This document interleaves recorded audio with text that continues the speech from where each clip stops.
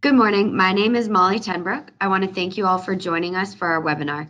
Today's webinar will focus on easily managing your libraries and components. Before we jump in, I would like to give you a brief introduction to Trilogic and what we do.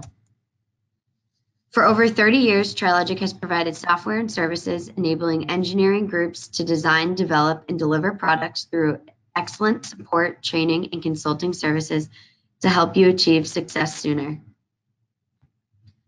Oasis Sales has been a mentor premier partner for over 16 years. Their industry knowledge and experience make them uniquely qualified to understand your business and how technology will make their customers successful. As you see here, highlighted on the map are the regions that each Oasis and Trilogic cover. Make sure that you're subscribed to our YouTube channel as well as Oasis YouTube channel. You can either search Oasis Sales or Trilogic and make sure that you're also following our other social media channels like LinkedIn, Facebook, and Twitter. Thank you for that, Molly. The topic today is easily managing your libraries and components. Wouldn't it be nice if this process was frictionless and smooth? I'm sure this is something we would like to approach in terms of component management, but it happens to be very hard to achieve. There are many friction creators in the electronic product creation process. For example, just finding the component information.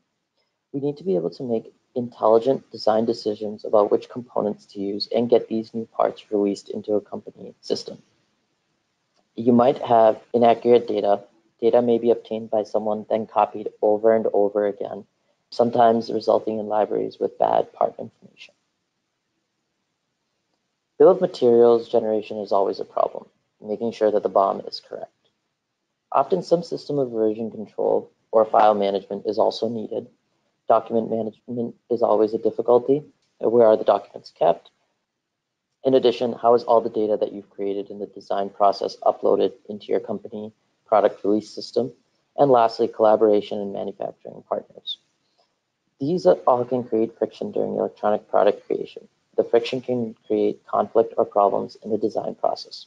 We're going to talk about some ways you can simplify the process and maybe get a little closer to frictionless so we can avoid this from happening. First, let's go over some terms. In discussing what is in a component library, we will divide it into something we'll call CAD-specific information and component information. CAD-specific information, for example, is a schematic symbol, a layout footprint, and the connectivity between them. In other words, how do the pins on the symbol connect to the pins on the actual footprint? And then there's component information. This is the parametric data, the value tolerance, voltage or power, etc., for each unique component. Very often you'll have a company part number which acts as a reference. There also may be the manufacturer and the manufacturer part number information and possibly a link to a data sheet. This aids in the creation of a correct bill of materials. You can also have a reference to a simulation model. We have two flows that are supported in the PADS environment. In the netlist flow, there are separate libraries for the symbols and the footprints.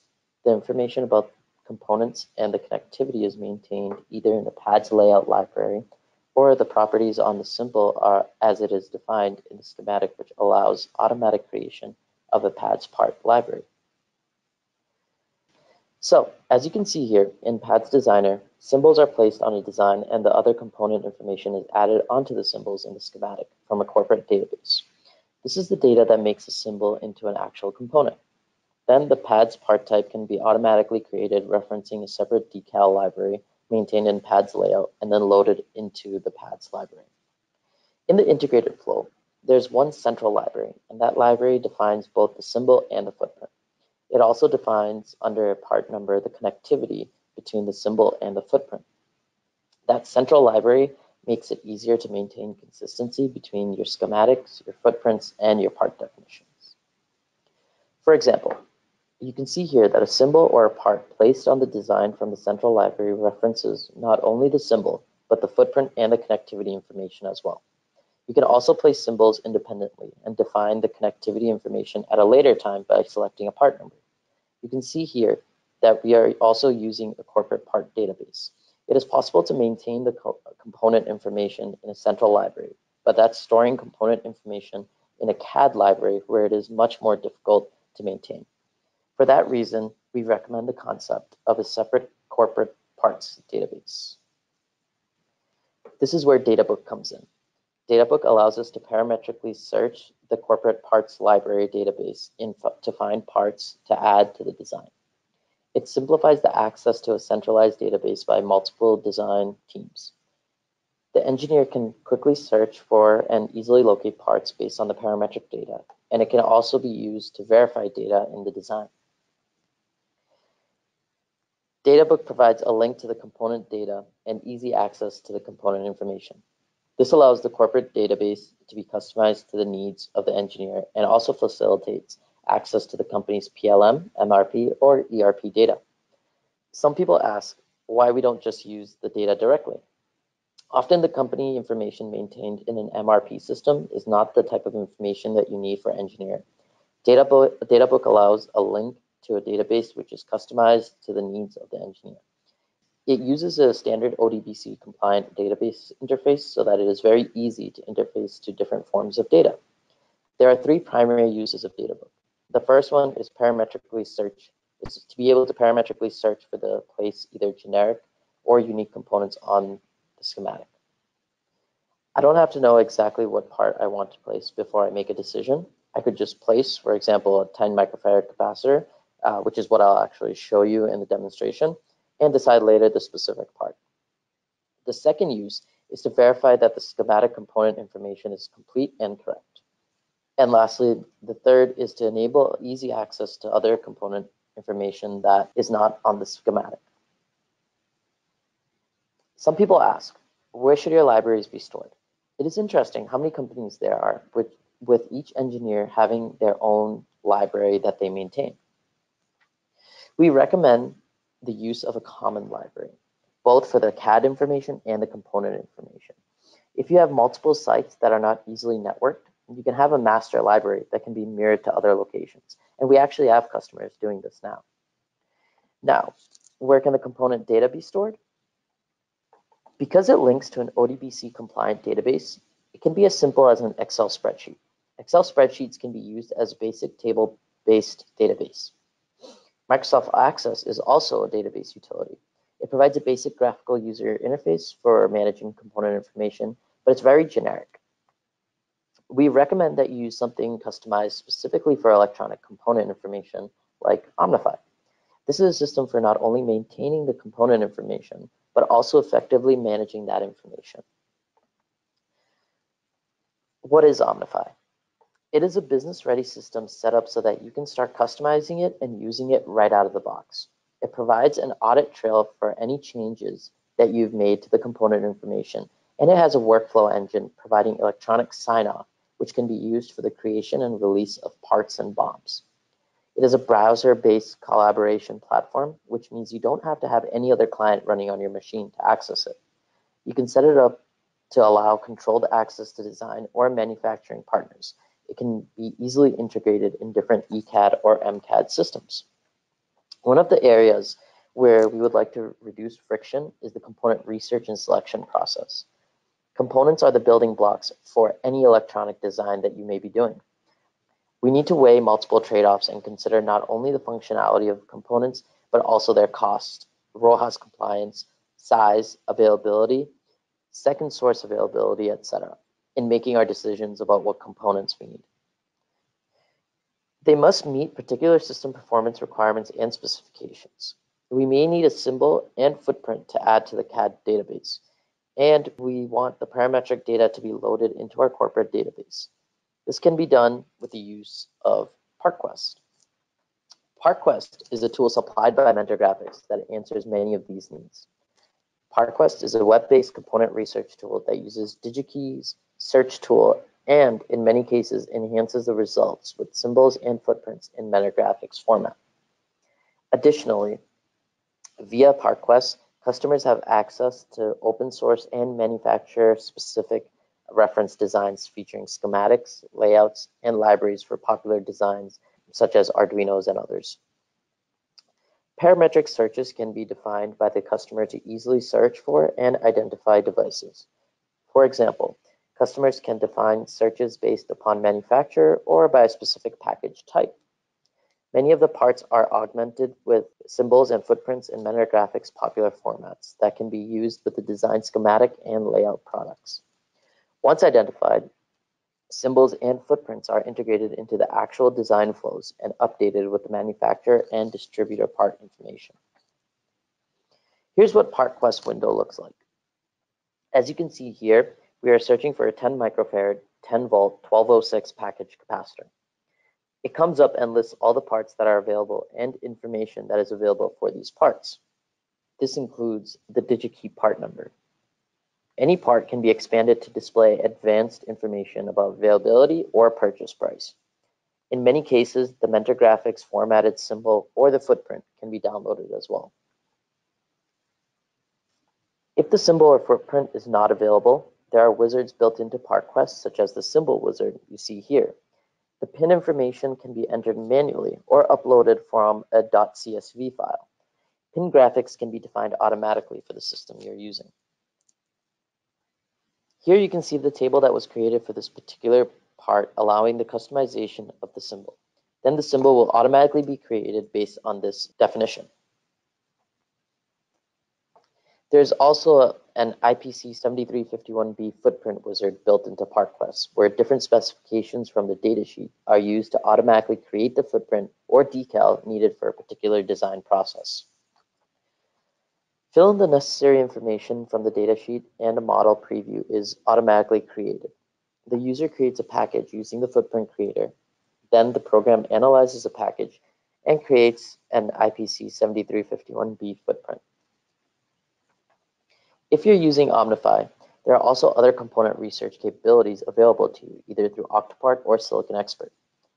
The automated interface for these particular tools are built into Omnify, allowing you to access many parts and automatically populate your database with information for those parts. In some cases, it can maintain a live link to the online database. We're going to show you that as part of the demonstration.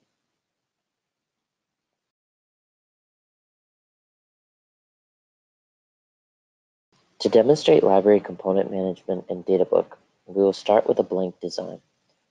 I go into the Databook window, open a database query, and select the capacitor library. I'm interested in adding a 10 microfarad capacitor to the design. First of all, I want to consider only released parts. So I start out by setting the status filter to released, and then set the value filter to 10 microfarad. This results in eight choices for the design that I am working with. I'm going to add this symbol as a generic 10 microfarad capacitor, not defining it as a unique part at this time. For the second capacitor, I'm going to add a unique part, reviewing all the information available and deciding which one to use. Because the databook database I'm working with is an Omnify database, I have what's called an object link. That allows me to access all the information that's available in the database to help in the decision of which part to use.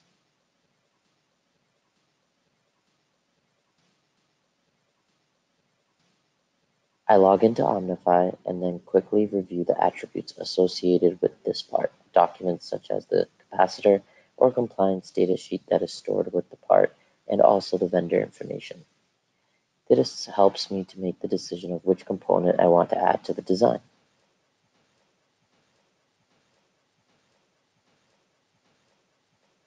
After reviewing all the information, I decide to select the top one. When I add the symbol, all the properties are annotated. You can see over here that it's got all the properties needed to define it as a unique part. The first one that I add is generic. Its properties only indicated that it is released and has a value of 10 microfarad. Now I take the uniquely defined second symbol and make a copy to define a third capacitor. So now I've been able to add components from Databook, either adding generic symbols or unique parts, and all the information that I needed to make the decision was right here, accessible from within the designer windows. Let's say that I work on this design and I decide that I want the third capacitor to have a value of 12 microfarad. So I change the value property in this design, but I haven't changed any of the other properties.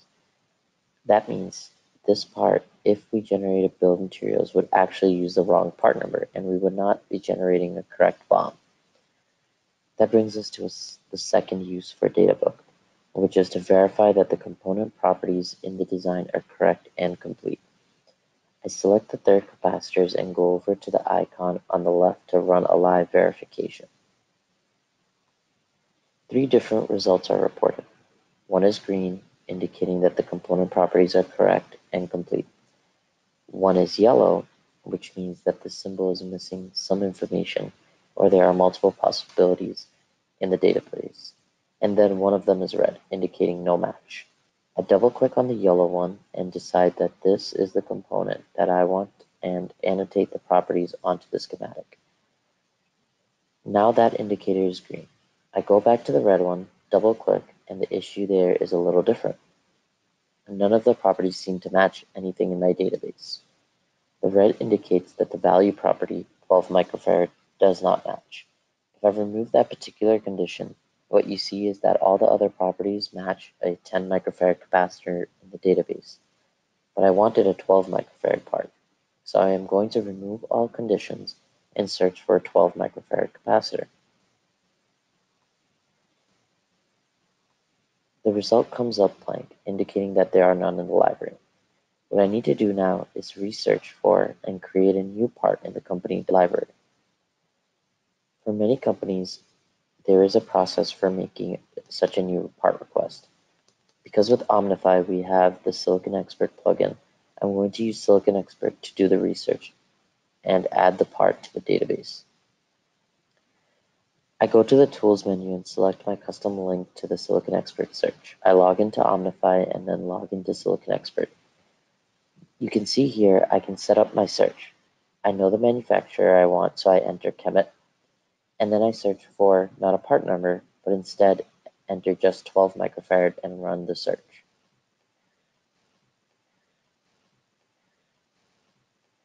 The query has come back with a long list of possibilities. I could then go in and narrow the search, research individual parts, and come to a decision. In this case, for simplicity, I am going to select the first one on the list and then click on Check or Create Part. This will automatically create a new part request within Omnify. You can see here that one of the properties values from Silicon Expert have been automatically mapped to three of the Omnify properties. There are other properties that I can translate over, and there is a mapping function which would allow the automatic mapping of other properties, or I could manually do it if I wanted to. I can also select documents such as data sheets to be included with the new part request. I click on Create Associated Item slash Part, opening that Omnify new part request window. I select the category capacitor, which automatically invokes the settings and rules for capacitors. There are particular fields required. The value, voltage, and tolerance fields have been populated from Silicon Expert. For the ECAD symbol, I am going to enter the generic cap symbol name. For the attribute package, I will enter to be determined. The part number is going to be automatically assigned, so now I have entered all the information needed to create this part. I click on Create Item the next part number is assigned and the part is created. It's added whatever attributes with the values assigned.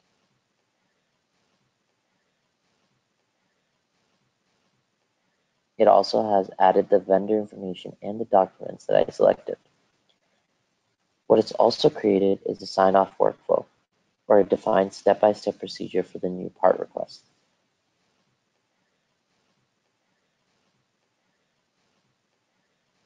I go ahead and approve my initial request for this part and I've started the process.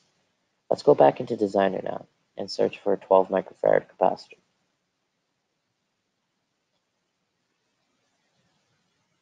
Now you see the part that I created is immediately available.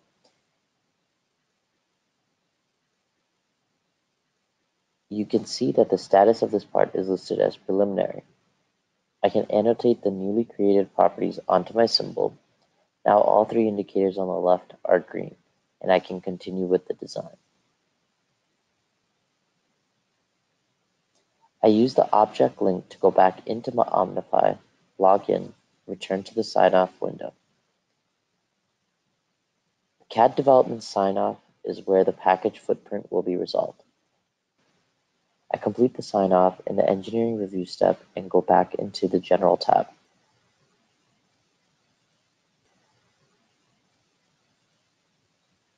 I have a release button here. I can release the component.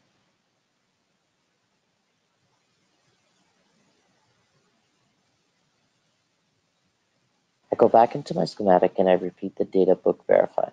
I select the three capacitors and run the verification. You can see that one of them doesn't pass. This is because the status field does not match. The status has changed. The status stored in the schematic is preliminary, and now the status has changed to released. I remove the particular condition and update my schematic indicating that the newly requested part is now released. I hope we have been able to show you how library management can be easier and smoother. Are you experiencing chaos with your EDA component libraries? Here at TriLogic, we have decades of experience working with customers to help them bring order out of chaos in their component library challenges. We can do a free review and evaluation of your current library management and design process. Make sure to visit us at www.trilogic.com. Thank you.